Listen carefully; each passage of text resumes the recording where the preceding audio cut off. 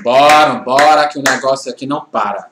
É lançamento toda hora. É lançamento de importado, é lançamento de nacional. E eu aqui como fico? Enlouquecendo.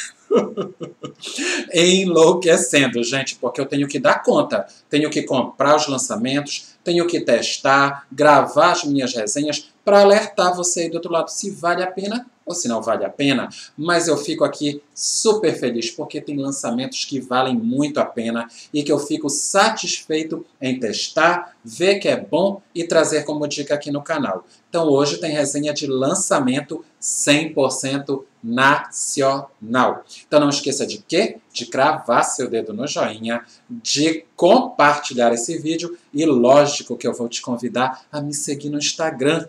Então aqui embaixo, no box de informações desse vídeo, estará meu Instagram. Vão lá me seguir, que lá eu posto o meu cotidiano, falo dos nossos perfumes maravilhosos e você me ajuda a criar conteúdo aqui para o canal criar conteúdo, tá? Mas como? Porque eu crio enquetes e você responde essas enquetes. Então, quando você responde, você automaticamente está me ajudando a criar conteúdo aqui para o canal. Então, estou esperando vocês lá, hein? Vão fazer parte da família que cresce todos os dias. Estará aqui no box de informações desse vídeo. Então, gente, vamos lá, que hoje eu estou feliz com esse lançamento. Ele não é aquela uau, o supra-sumo, mas é um bom perfume. Precisa reaplicar? Precisa. Mas o tempo de fixação dele até que é ok na pele. Mas primeiro eu vou falar as notas, logo em seguida vou mostrar o belíssimo frasco e vou falar para vocês o que se destacou na minha pele. Tá bom? Então vamos lá? Na saída, gente, ele tem frutas vermelhas, tem bergamota e tem grapefruit. No coração ele tem flor de cerejeira, tem sândalo e tem tuberosa. E no fundo ele tem caramelo, fava tonka, baunilha e âmbar. Já viram que o bichinho veio com uma base bem adocicada, numa mistura de âmbar, baunilha, fava tonka e caramelo. Mas será que ele é tudo isso doce mesmo? Vocês vão saber no decorrer dessa resenha. Porque hoje quem está na berlinda é o lindinho da Jequiti, Larissa Manuela. Esse daqui que vem escrito na caixa, gente, aqui, nova fórmula. Enfim. Então, ó, uma caixa bem simples, tá? Mas o frasco do perfume tá lindo. Eu achei lindo. Quando eu vi esse lançamento, gente, da Larissa Manuela pela Jequiti, eu disse, gente, que frasco bonito. A dona Jequiti tá caprichando nesses últimos frascos desses lançamentos, né? Uns frascos bem bonitos. Olha esse daqui como é. A gente olha aqui pensa que é tipo um adesivado, mas ele não é adesivado, gente. Ele é mesmo no frasco do perfume. Tá bem bonita essa embalagem da Larissa Manuela, bem bonita mesmo. E ele é um perfume de 100 ml e ele é uma colônia. Mas, gente, assim, quando eu tirei a tampa e borrifei na pele, eu fiquei espantado porque ele tem uma saída cítrica com nuances herbais e amarga. Eu disse, gente, que saída diferente.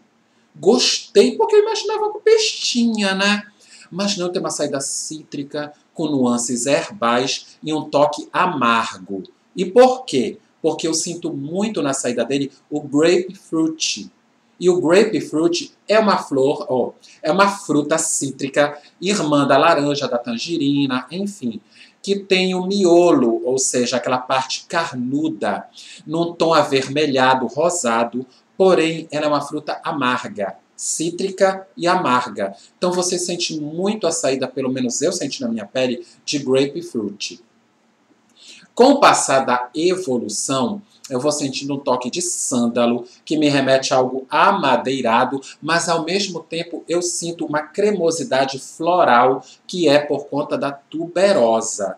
Então, gente, Larissa Manuela, que já está se tornando uma mulher, não poderia ter um perfume muito infanto. Então eu me surpreendi com essa mistura, que é uma saída cítrica com nuances verdes e um toque amargo por conta da grapefruit que se entrelaça com algo amadeirado por conta do sândalo, mas ao mesmo tempo é cremoso e floral por conta da tuberosa. E ele fica docinho na pele, gente, com essa base de tonka, de baunilha, de caramelo e de âmbar. Na minha pele não fica extremamente doce. Ele fica com nuances adocicados muito sutis. E acredito eu que seja por conta do caramelo. Que na minha pele esse caramelo tem aquele cheiro de caramelo, gente, que não chegou no ponto. Sabe quando você coloca açúcar para ferver? para virar caramelo, parece que aquele caramelo não chega no ponto, naquele ponto de dá para enrolar, ficar meio duro. Então não fica, parece que o caramelo não chegou no ponto. Então ele tem doçura, mas não é excessiva, é uma doçura confortável. Que quem me acompanha aqui no canal sabe que eu não sou fã de perfume doce melado. E nesse caso, a doçura dele é muito confortável. Então, Larissa Manuela pela Jequiti. É um perfume que tem um toque amargo, cítrico, herbal, amadeirado, floral cremoso e levemente adocicado. É um perfume diferente e gostoso. O tempo dele de fixação na minha pele foi em torno de 4 horas. E a projeção dele é em torno de 30 a 40 minutos e depois ele fica rente à pele. Precisa reaplicar? Precisa, mas eu gostei da proposta do perfume. Ele é um perfume diferente, é um perfume bem gostoso e que eu gostei bastante, gente. Me surpreendi. Gostei da embalagem, gostei do cheirinho e precisa reaplicar? Precisa, mas ele é um perfume muito gostoso. Muito, olha. Tô chocado. Ai, que delícia. Então, é isso minha resenha do Larissa Manuela pela Jequiti.